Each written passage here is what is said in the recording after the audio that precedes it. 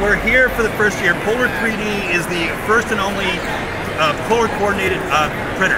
Okay, what that means is we actually have a rotating build plate, and we're, we're, instead of Cartesian printers that work on an X and a Y, we actually rotate around a center point. So that's beneficial for a couple of reasons. One is uh, we get a very large build volume. We can print something this large on a printer this small. So we're half the footprint of a MakerBot Mini, um, but we print four times the build volume and we're, we're less than half the price. So, and if you think about it, simple math.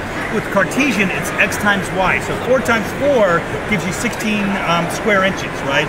Well, with a with a circle, your area is what? It's pi r squared. So r being four squared is 16 times pi. We have three times the build area, but half the footprint. Okay, so so that's that, that that's where th this thing's a workhorse. It's actually got built-in Wi-Fi. It's a Raspberry Pi 2 on board. So, so on the back, you'll notice we have traditional uh, USB connection. We have Ethernet as well as Wi-Fi built in, and a USB uh, slot for a USB drive that you want to plug in. So um, there's also, if you notice in the bottom, there's a built-in camera. So I don't know if you can see that or not, but under there, there's a camera. So from our website, then let's go over. You can go to the screen over here. Oh, sure. You can actually control everything via a web browser wherever you are.